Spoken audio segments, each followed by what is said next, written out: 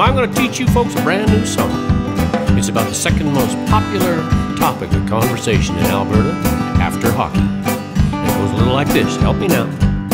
Here we go. Way out west in old Alberta, called east side flat, west side's vertical. Big old storms come rolling in on us. Forecast calls for ice and snow. Highway 2, you better not go. But don't be complaining, making a whole bunch of fuss. Why not? Why can you not complain? It's a free country. You can complain if you wish. But you must not in this case because we've got moisture. Yeah. Moisture, eh? Throughout the land you'll hear the old refrain. It's moisture. By God, we'll take it. We may never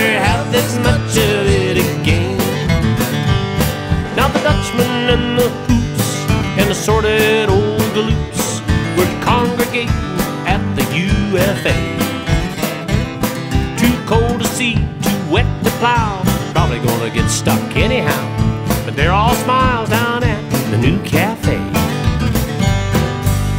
Why is that? Why would be all smiles in this inclement weather? Well, they are because they got moisture.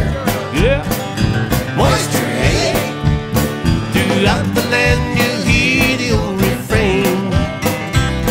It's moisture. By God, we'll take it. We may never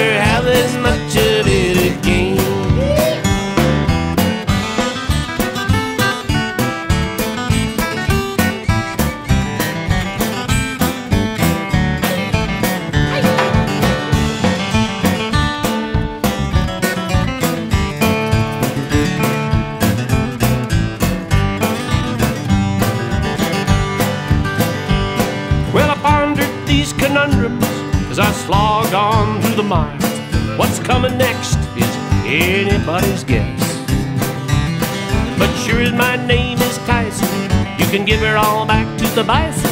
This country never could handle success. Why is that? Why can this country never handle success? Is it schizophrenic? I guess maybe it is because they've always got too much or too little, but usually too little moisture. Yeah, moisture. eh?